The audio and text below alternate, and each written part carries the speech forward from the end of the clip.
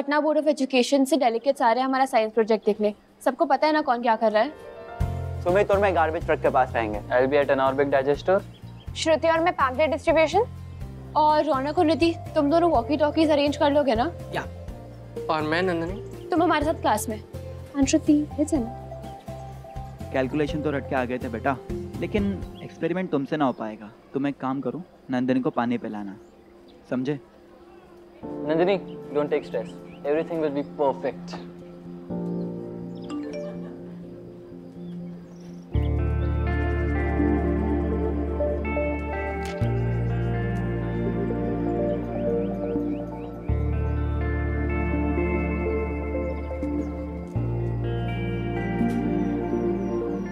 What's up, buddy? कुछ नहीं bro बस वो कल के लिए नर्वस हूँ। फुल्लू किसको बना रहा है? तू।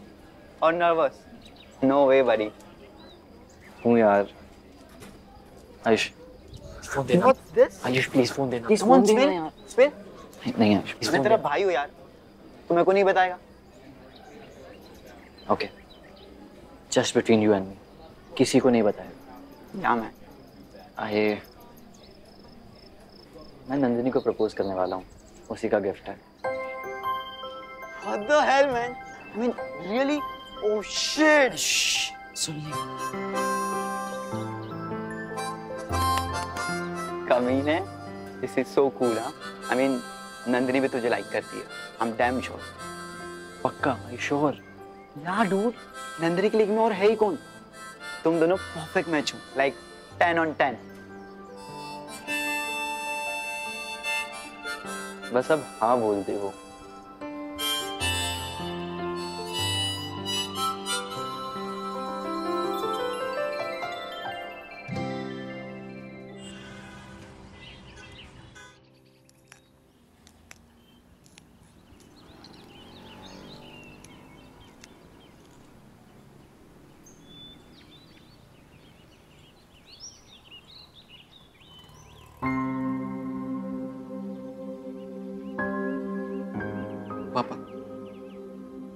मुझे आपसे कुछ बात करनी है।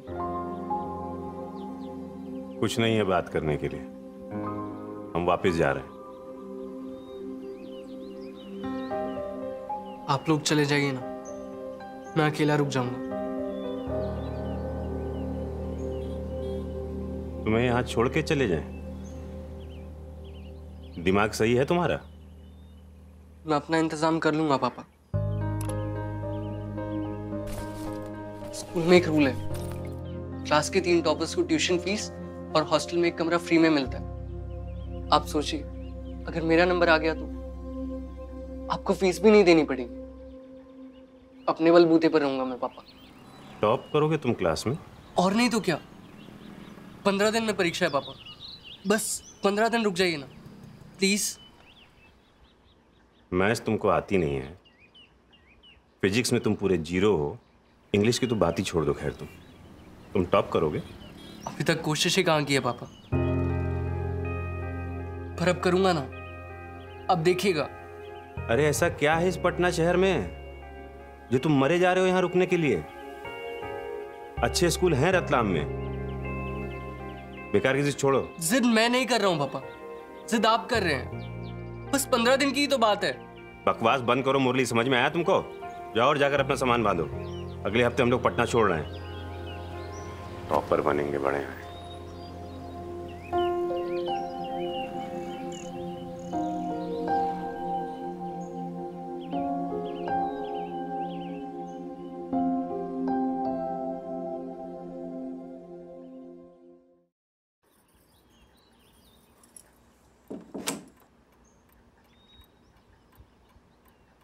देखो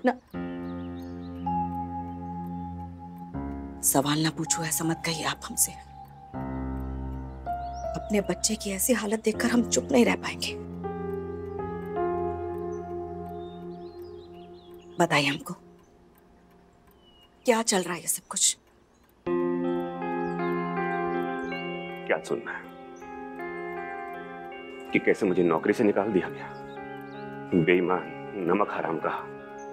कहा कि कि आपने घूस ली है। नहीं ली मैंने रिश्वत। एक रुपया नहीं छुआ है। सब वापस कर दिया। वो तो किसी ने शिकायत दर्ज करा दी इसलिए मुझे नौकरी तो ये बात आपने जज साहब से जाकर क्यों नहीं कही? छोड़ो सविता तुम मत पड़ो इस चक्कर में। देखो तो वापिस चलते हैं चुपचाप।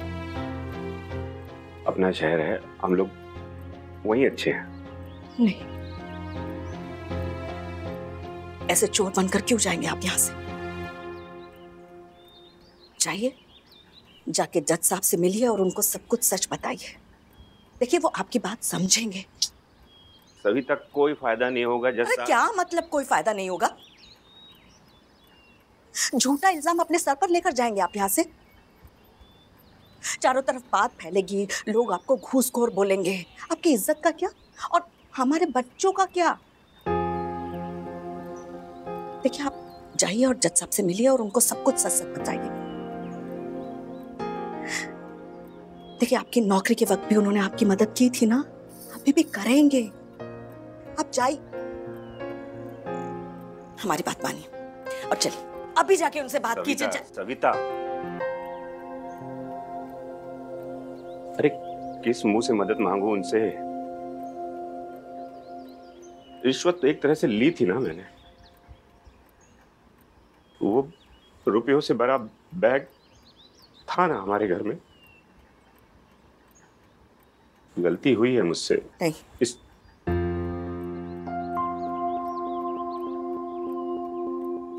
नहीं हुई है गलती। गलती होने से आपने खुद को रोक लिया है। तो फिर गलती कैसी? सरिता तुम मत पड़ो इस चक्कर में तुम्हें कुछ समझ में नहीं आता है। हाँ नहीं समझते हम कुछ भी। नहीं समझते। लेकिन हम अपने बच्चे के आँसू और अपने पति के दुख को समझते हैं। देखिए अगर आप नहीं जाएँगे ना जज साहब के पास तो हम खुद जाएँगे उनसे बात करेंगे। तुम पागल हो गई हो हाँ हो गए हम पागल। हो गए हैं। अपने बच्चे की खातिर आपकी खातिर।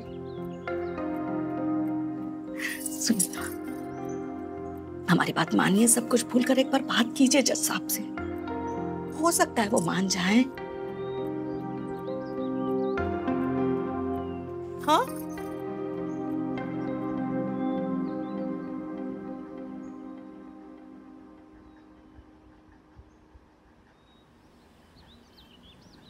भैया ये क्या है?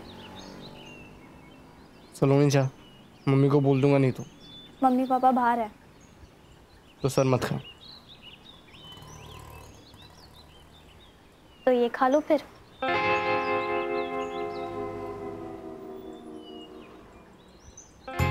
ये ये कहाँ से मिला तुझे? मिला मुझे। बोलेगी? यही नहीं। अलमारी में पूरा खजाना मिला है।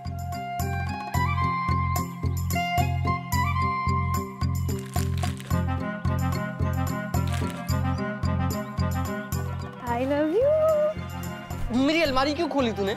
वो मेरी भी अलमारी है। तुमने ताला क्यों मारा था? ये सब छुपाने के लिए। फट जाएगा। तो बोलो ना किसका है? बोलो। तुझसे मतलब ये मेरा नहीं है। झूठ कोई तो है। इसलिए रतलाम का नाम सुन के तुम्हारी सिट्टी पिट्टी गुम हो जाती है। ज़्यादा बकवास मत कर सलोनी। मैं उल्टे हाथ का मारूँगा नहीं तो एक। अरे भैया बता दो ना। मैं थोड़ी ना किसी को बताऊँगी। पक्का प्रॉमिस इसलिए पटना का नाम सुन के तुम मुताबले हो जाते हो ना? एग्ज़ाम में टॉप भी कर लोगे उसके लिए? फिर मजनू और रोमियो के बाद देखिए मुरली शर्मा की लव स्टोरी खाली दिमाग कचड़े का डब्बा। ये सब दीपू का है समझी ना? क्या? तुम और दीपू भैया? पागल है क्या? दीपू एक लड़की को पसंद करता है। वो उसे बोलने वाला था पर अब उसने प्लान कैंसिल कर दिया। तो उसने ये सब मुझे दे दिया। रखने के लिए। झूठ! झूठ बोल रहे हो तुम। और पापा ने जो वो तीन हज़ार रुपए दिए थे वो तो तुमने गरीबों में बांट दिए होंगे ना? मुझे दिए थे ना? मैं जो भी करूँ तुझे क्या? हर बात पे टांग अड़ानी है। दीपू भैया का प्लान कैंसिल हो गया है ना तो तुम्हें इन सारी चीज़ों की क्या ज़रूरत है? मुझे बस टेडी और चॉकलेट दे दो ना।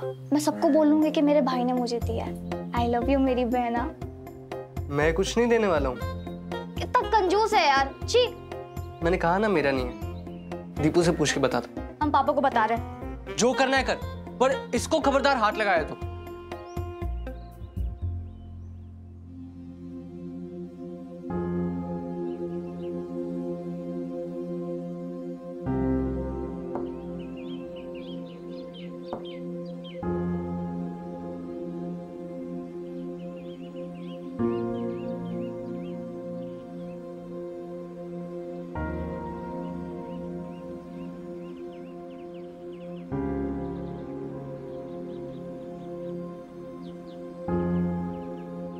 जज साहब आपकी बहुत एहसान है मुझ पर एक छोटा सा अनुरोध था कि आप पता लगा सकते हैं कि मेरे खिलाफ किसने शिकायत दर्ज कराई है। हमने की शिकायत।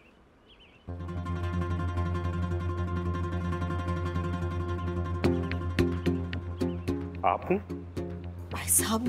कहा था ना शर्मा। बहुत संगीन केस है लोग दबाव डालेंगे तैयार रहना। फिर तुम बिक गए।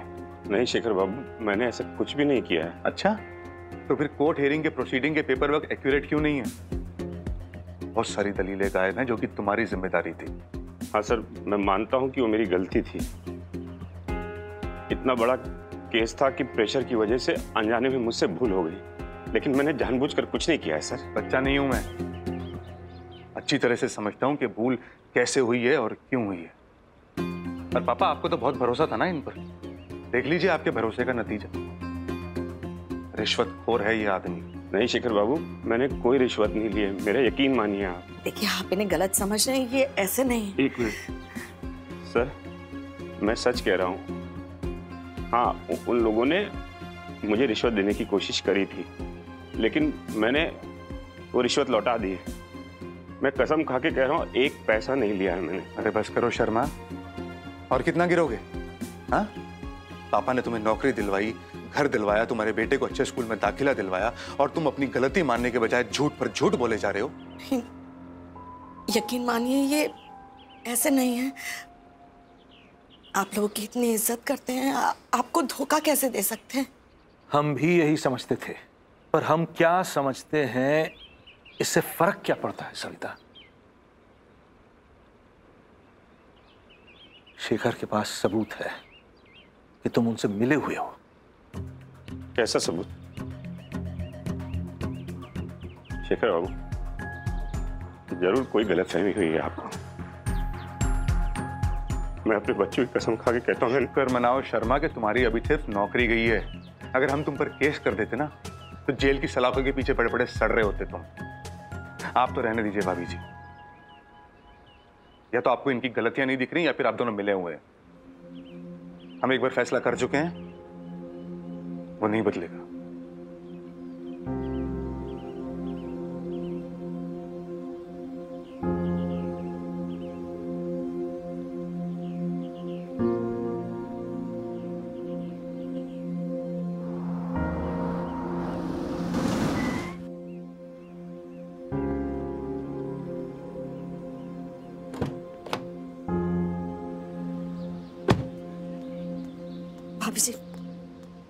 भाभी जी अच्छा हुआ जो आप आ गई देखिए हमें नहीं पता आपको क्या पता है लेकिन ए, ए, एक बार आप भाई साहब से बात कीजिए ना उन्हें समझाइए। हमें सब पता है। जो सच है वो सच है सविता जी। नहीं भाभी जी ये सच नहीं है। इनके ऊपर रिश्वत का आरोप लगा है। रिश्वत का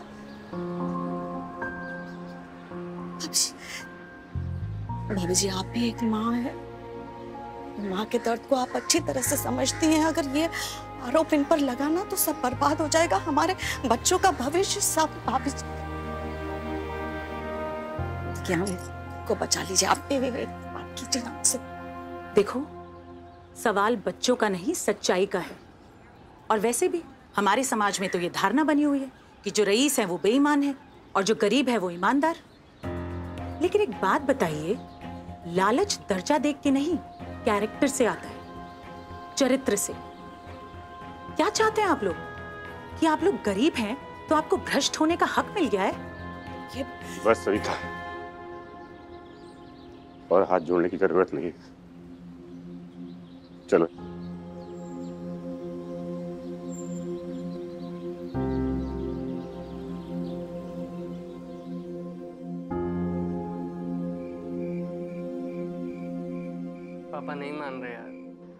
क्या करूँ? भाग जाओ घर से तुम्हें तो आदत है। बकवास मत कर यार। एक तो पापा जब से घर आए हैं अपने कमरे में ही हैं। मुरली। जी पापा। सुन बाद में बात कर।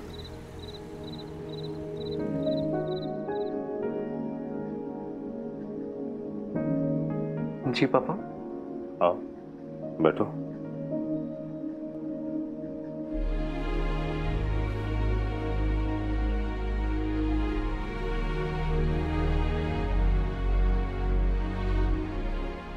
बेटा, जब मैं छोटा था ना तो नर्मदा नदी में जाया करता था तैरने के लिए। सब लोग कहते थे कि मैं बहुत बड़ा तैराक बनूँगा, ओलंपिक स्विमर बनूँगा, लेकिन फिर मैंने तैरना छोड़ दिया। कराटे सीखने लगा। एक दो महीना सीखा होगा कि उसके बाद वो भी छोड़ दिया। बेटा, कोई भी स्टेनोग्राफर बनने का सपना नहीं देखता है। मैंने भी नहीं देखा। मेरे भी बड़े सपने थे। लेकिन कोई नतीजा नहीं निकला। अरे तुम ये सोच रहे होगे ना कि मैं तुम्हें ये सब क्यों कह रहा हूँ? जी नहीं पापा। देखो मैं तुम्हें ये सब इसलिए कह रहा हूँ कि मैं बताने की कोशिश कर रहा हूँ बेटा कि कुछ बनने और कुछ ना बनने में सिर्फ़ एक अंतर होता है। आपकी जिद। और उस जिद पर अड़े रहना। तुमने कहा था ना कि पापा मैंने अब तक तो नंबर लाने की कोशिश ही नहीं करी। जी। कहा था ना? अब करोगे? हाँ पापा। पूरी सच्चाई के साथ? जी। ये घूमना फिरना टीवी फ़ोन सब बंद करना पड़ेगा। हाँ पापा। पंद्रह दिन चाहिए ना? जी पापा। पंद्रह दिन में एक एग्ज़ाम है।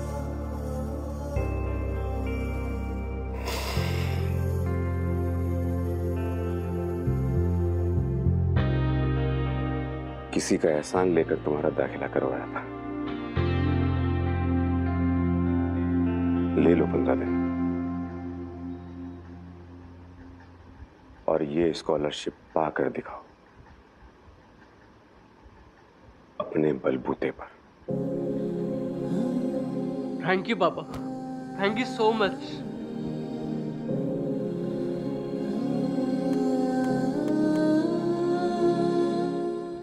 अवश बेटा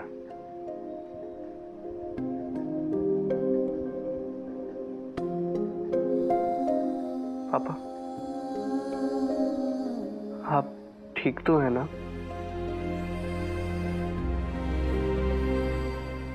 आज मुझे मेरी औकात पता चली। मुरली? तुम मेरे जैसा मत बनना बेटा। मेरे से आगे जाना तू। बहुत आगे बहुत बड़ा आदमी बनना। मेरी तो पूरी ज़िंदगी लोगों के आगे झुकते झुकते झुकते झुकते निकल गई। तू मत झुकना।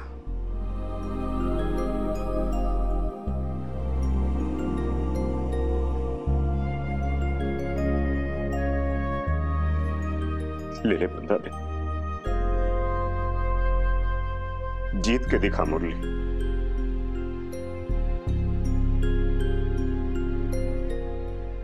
जीत के दिखा, वो स्कॉलरशिप पाल है। और अपने बाप का सिर एक बार फिर से ऊँचा कर दे।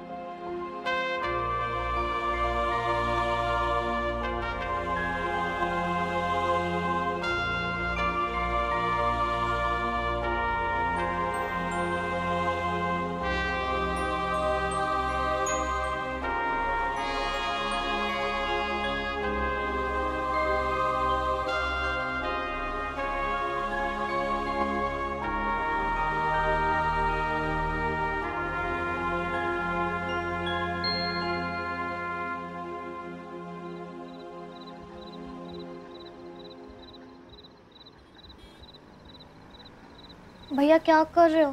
सोना नहीं है?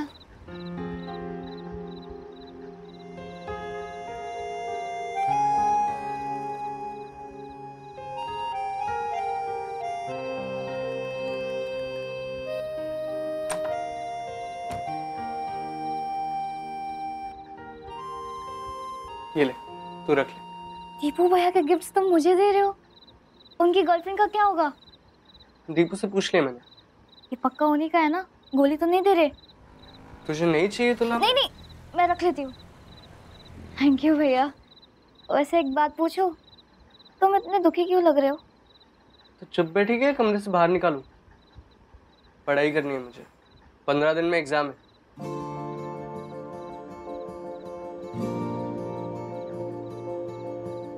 कभी सोचा है जिस दिन हम इस दुनिया में आते हैं उसी दिन एक बाप भी पैदा होता है। वो आदमी जो बिना सवाल या गिले की ज़िंदगी भर के लिए हमारी ज़िम्मेदारी उठा लेता है, हमारा हाथ पकड़ता है, घोड़ा बनता है, कंधे पे उठाता है, स्कूटर पे घुमाता है। हमारी खुशी के लिए वो रोज मेहनत करता है और बदले में माँगता है बस इतना कि हम उनकी उम्मीदों पे खरे उतरे। उस दिन मुझे एहसास हुआ कि नंदिनी के प्यार से भी गहरा एक जज्बात था मेरे अंदर और वो था पापा का सर्व गर्व से ऊँचा करना। उनका गुरूर बनना स्कॉलरशिप जीतना मेरा लक्ष्य बन गया था।